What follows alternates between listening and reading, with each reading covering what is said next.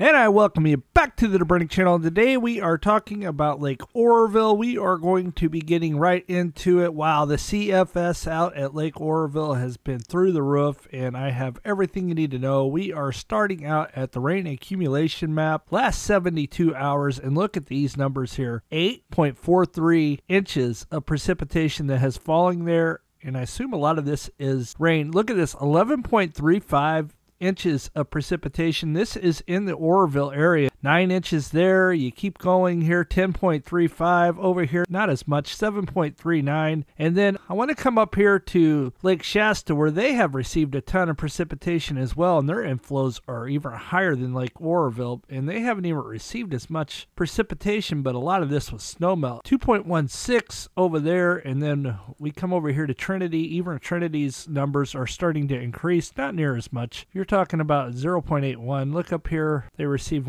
1.81. Those are not near as high. We come over here towards Folsom. Their numbers aren't nowhere near as high as Lake Oroville, but that is an insane amount. Lake Oroville has received a ton of precipitation, just crazy 9.71, and then you had 11. These inflows are just crazy. So that's what's going on there. Now, how much more rain is supposed to fall within the next 16 days? We're going to go out to tropical tidbits next and see what's going on. Here we are, and you can see that they have received a ton of rain and they're getting more rain, and this is going to start to go away. You got a low pressure up here at 996. Pretty impressive. You got this nor'easter out here 973. So finally it starts to scoot towards Southern California and then a little bit over towards my friends in Lake Havasu and out to Nevada, Utah, Colorado. It starts to scoot away. Just as we said last night, this thing's still at 990. This over here is 983. This actually is not as intense as it was coming in. And we continue to roll here and you can see it start to push away. This day's 990 millibars, bringing a ton of snowfall for Nebraska, South Dakota, Minnesota, Iowa, at least the eastern part of Iowa. Rain out ahead of the front, and you can see a little bit of snow starts to push through here through Missouri, Illinois as well. Nothing in California, nothing over here, a little bit in the Colorado Rockies there. Here comes the next system. It's still pretty intense, 996, and it doesn't really hit California. It pushes more up this way, which is good. They definitely don't need any rain. A little bit of showers, nothing to get too crazy about, nothing like this last past storm, and we are currently at 108 hours out. See, it starts to dry up a bit, but then here comes another system. We'll see how strong this one is at the 144 hour mark, and then you got a 987. That's a pretty intense low. It dumps snow out here in the Sierra mountain range here, all the way down into South Lake Tahoe, 984 millibars, and it scoots more up towards Washington's what they're saying right now. And then you can see another low right behind it. So, two systems in a row,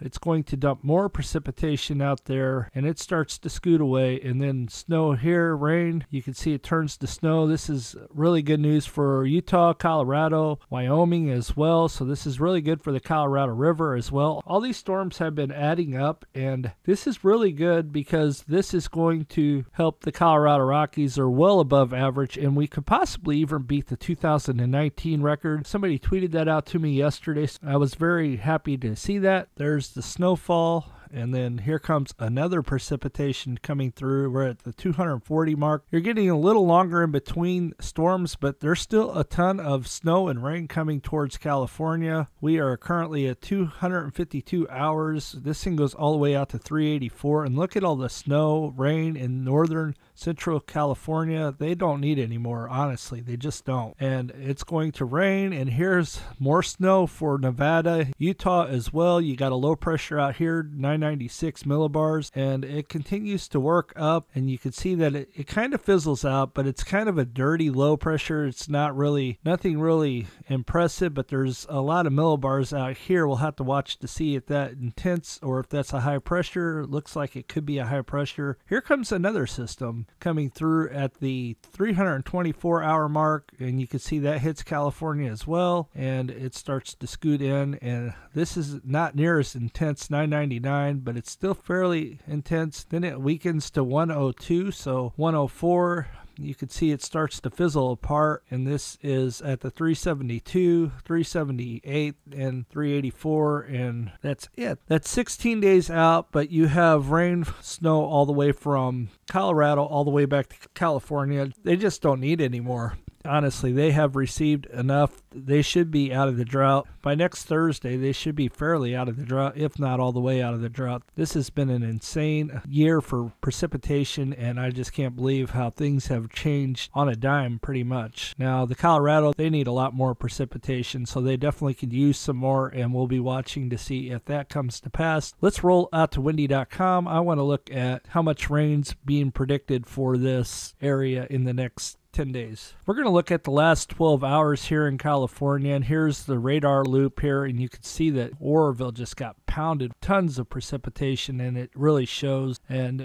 the rain has been nonstop over and over and over. Now, let's go look at the rain accumulation now and see how much rain accumulation is coming, and we will do that right now. So, your 15,570 is exactly what they said on Friday. They did bump it up a thousand CFS, but they also said that they were only going to get between 20 and 40,000 CFS, but they said they would have to monitor it. They never said nothing about no 67,806 CFS. This was at 4 o'clock, so this is crazy. These are high inflows. Now, you're currently looking at video from yesterday, and you can see how much this has come up last day. This thing has come up almost 4 feet. That's insane. So we'll be watching that. Let's go look at the graph and see what that is tonight. So the lake has come up 4.38 feet in the last 24 hours hours. The lake is currently at 848.05 feet. MSL Tuesday, March 14, 2023 at 3 p.m. The level is 51.95 feet below full pool of 900, and this thing continues to rise, and it's just a matter of time before it gets to that 850 mark. And then I wonder if, depending on the weather coming in, they'll have to monitor it, but they're definitely not going to allow it to go over the emergency spillway. Even though they have it, I don't think they want to test it, but we will see. You never know. They're only letting 16,000 out, and they said that the spillway in general can hold 270,000 CFS. So you have to remember that that's a lot of cubic feet. That's not even half of what's coming in currently. So they can drain that lake pretty quickly. Now they won't do that because it will flood towns like Oroville and Yuba City. So they will definitely go through great measures not to have to do that. But you just never know. Worst case scenario, if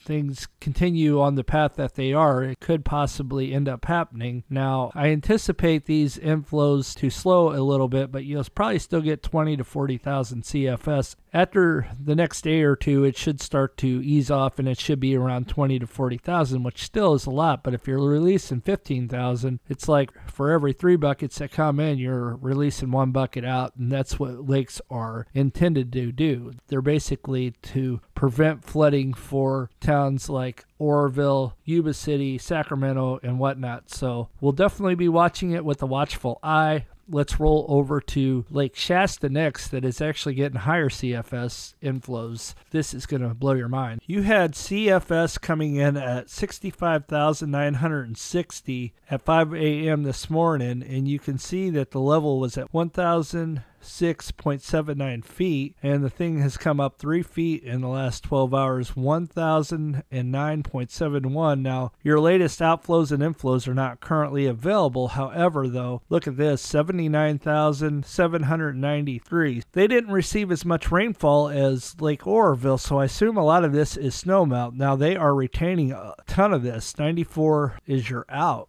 That's incredible. The highest was 444. So they are currently slowly climbing, and there's much more storage space in Lake Oroville. They're currently at 3,037,694, at least the last hour at, at the 3 o'clock hour at the 1500 mark. So let's go look at their graph next. Even though the lake has risen quite a bit, you can see that they do have high spikes. Like in 2019, they had a high spike, and then it started to fizzle out. Now in 2020, it was higher even yet, and in 2018 it was higher yet. 2021 it was lower, and 2022 it was even lower yet. This thing does have high spikes on occasion. It's very rare, but they do on occasion. So we'll be watching this as well. But you're a long way from 2000 18, 19, 20, but you're you're gaining on it quickly. So the water level is 1009.39 feet. MSL Tuesday, March 14, 2023 at 3 p.m. The level is 57.61 feet below full pool of 1067 and your changes since yesterday 4.86 feet. So this is what we got going on at Lake Shasta. Over to Trinity we go next.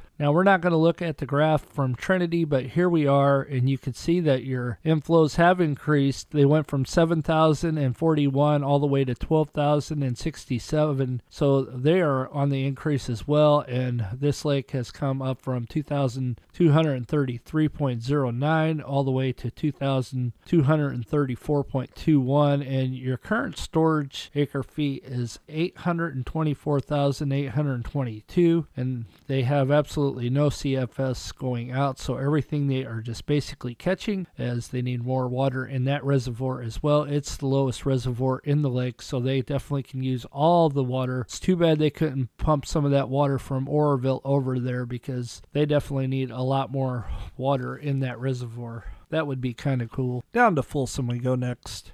Here we are at Lake Folsom, and you can see that they don't have the inflows or the outflows for your 4 o'clock hour. Your current storage acre feet is 566,224 at 3 p.m. The level has come up. You can see that they're not receiving near the inflows like Lake Oroville or Lake Shasta. 29,256 out, 46,812 in. They're releasing more at Folsom than they are at Lake Oroville, but this lake also comes up a lot quicker. It's not nearly as big as Lake Oroville, so this is what you got going on. 46,000 812 and your current water level is 424.70 and we, we're going to go check the snow map and then percentage of capacity next. You're currently at 169 for April 1st and 175 for today's date. It has increased by two there at, in the north, and we continue to go back. 223 for central 213 so this all down here is above 200 we go back to the 13 to see how much it's come up. It's come up one percentage point. Go back 260 249 and yesterday this was lower. It was 257 247 so that's what we got going on there. Let's go to percentage of capacity next and see what's going on at reservoirs around the state. Here we are at california major water supply and you can see lake oroville's up to 77%. Lake Shasta 65. Trinity's the lowest one at 33. New Melones is up 1% at 51. Don Pedro's 84. Folsom's 57. New Bullards is 79. Cachuma's 95. So New Melones has come up from yesterday. It was at 50, so it's at 51. And Trinity's still at 33. So Trinity could still use some more rain. Oroville doesn't need any more. Folsom doesn't need any more. Shasta